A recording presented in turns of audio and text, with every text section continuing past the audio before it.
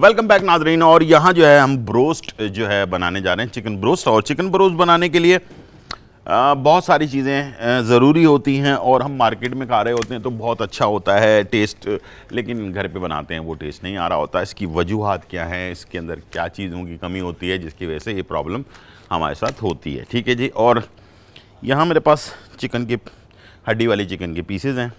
अच्छा इसके अंदर क्या होता है कि ये जब हम सिरका सफ़ेद सिरका थोड़ा डालते हैं तो इसके साथ और थोड़ा नमक जो है ना, ये हम जब ऐड कर देते हैं तो ये दोनों चीज़ें मिलकर चिकन के अंदर जो ब्लड होता है, उसको नहीं निकलने देती हैं, यानी कि उसको ख़त्म कर देती हैं। दूसरा ये कि इसके अंदर सॉफ्टनेस्ट यानी कि जूसी जिसको कहते हैं ना, हम चिकन ब्रोस बना रहे होते जूसी नहीं हो रहा होता, ठीक है? और तीसरी चीज़ है, थोड़ा सा लाल मिर्चों का पाउडर ठीक है, जो लोग स्पाइसी खाना चाहते हैं। और थोड़ा अदरक, ठीक है, इसको लगा कर कम अज़ कम ना एक घंटे के लिए, कम से कम एक घंटा, ज़्यादा से ज़्यादा दो घंटे, यहाँ पर हम पाउडर बनाने जा रहे हैं। ये मेरे पास है चिकन पाउडर ठीक है। ये है मैदा, एक कप चावल का आटा, एक कप, ठीक है कॉर्नफ्लावर ये आप एक कप लेंगे, ठीक है।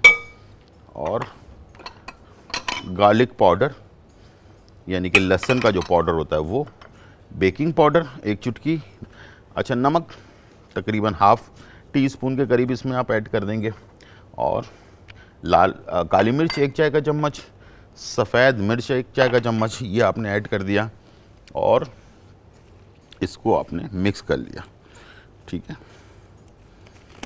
अच्छी तरह से। ये देखें इस तरह से। अब तरीक़ाकार ये होगा कि आप चिकन के पीसेस लेंगे, इसमें डालेंगे, अंडे में डिप करेंगे और फिर वापस इसमें ऐड करेंगे और उसके बाद हम इसे फ्राई करेंगे, ठीक है जी? और इस तरह से आपने पीस उठाया, इसको आपने इसमें खुश्क पाउडर पे लगाया, ठीक है? और यहाँ मेरे पास अंडा डिप, अंडा रखा हुआ है, अंडे में इसको डिप किया आपने और दोबारा इसको खुश पर लगा कर इसको हम फ्राई करने के लिए डाल देते हैं, ठीक है?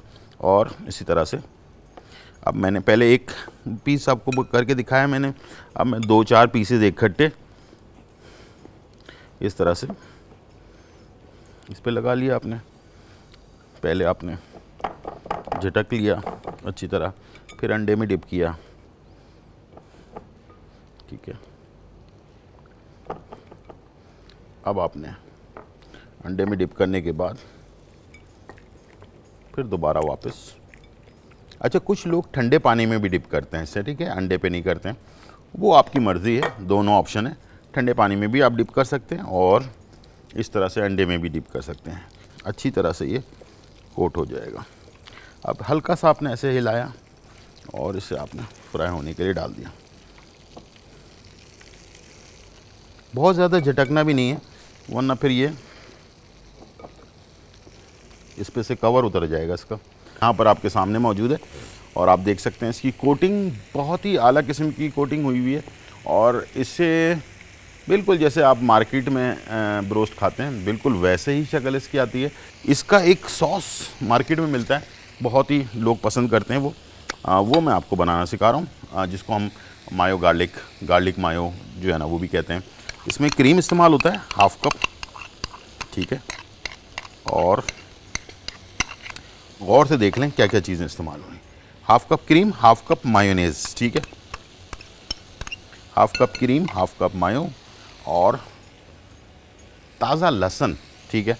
एक चाय का चम्मच और सफ़ेद मिर्च, आधा चाय का चम्मच, नमक, हसब ज़रूरत, चिकन का पाउडर या चिकन का क्यूब, जो है ना वो एक अदद, ठीक है? या चिकन पाउडर अगर है तो एक चाय का चम्मच ठीक है? और नींबू का रस, ये एक खाने का चम्मच, ठीक है? ये सब, ये सारी सिर्फ़ ये चीज़ें डलती हैं इसमें, और इसे आप पहले हाथ से ऐसे मिक्स कर लें।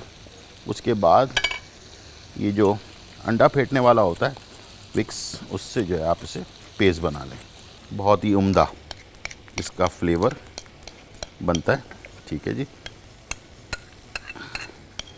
चले जी। ये हो गया। सॉस और इसे हम यहाँ रख लेते हैं। ब्रोस्ट के साथ। बाकी ब्रोस्ट हमारे जो हैं, फ्राई हो रहे हैं। ठीक है। इसको अलट पलट कर दें। चलिए इसे भी हम डिश आउट कर लेंगे। पहले हम इसे टिश्यू पे निकालेंगे, उसके बाद फिर इसे हमने बर्तन पे लगाना ठीक है। हाँ। सेकाई चू में? पाकिस्तान में। पाकिस्तान से बाहर पूरी दुनिया में। रू अफ़ज़ा, आपकी सेहत के लिए बहुत ही ज़बरदस्त प्रोडक्ट है रू अफ़ज़ा जो आपकी सेहत को बरकरार रखता है। तो मैं आज इससे एक ज़बरदस्त ड्रिंक बनाना सिखा रहा हूँ, जिसके अंदर क्रीम इस्तेमाल होगा हाफ़ कप ठीक है? मिल्क दूध हाफ़ कप ये बनाना, ठीक है? दो अदद बर्फ़, तकरीबन हसब ज़रूरत, ठीक है? और जो रू अफ़ज़ा है, जो असली अर की आज से तैयार है, आपकी सेहत के लिए बहुत अच्छा है। पाँच से छः चमचे ये, और इसके साथ आइसक्रीम जो है ना, वो आपने वेनिला आइसक्रीम, हाफ़ कप, ये भी मैं इसमें डाल हूँ। ठीक है जी, बहुत अच्छा इसका फ्लेवर बनेगा। चले जी, जब तक इसको मैं फ्रेश कर लूँ, ये हमारे पास फ्राई हो चुका। डिश आउट कर लेते हैं इसे। तो ये आप देख सकते हैं कितना ज़बरदस्त ब्रोस्ट हमारा, क्रिस्पी, करंची, और जा, जो आपने इस पर लगाया है ना, कोटिंग वो बिल्कुल नहीं उतरेगी। इसे आप मिक्स करेंगे। ठीक है।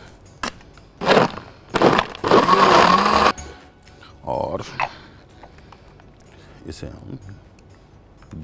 ज़बरदस्त, ठंडा ठंडा, ठार ठार। Rooh Afza with ice cream and banana जो है ये हमारी ड्रिंक तैयार हो चुकी है।